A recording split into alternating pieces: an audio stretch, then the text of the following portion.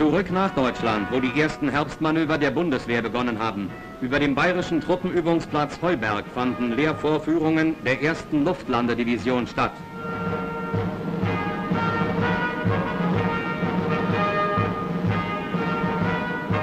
Im Rahmen der NATO wurden die Transportflugzeuge von der italienischen Armee zur Verfügung gestellt. Am Steuer saßen italienische Piloten.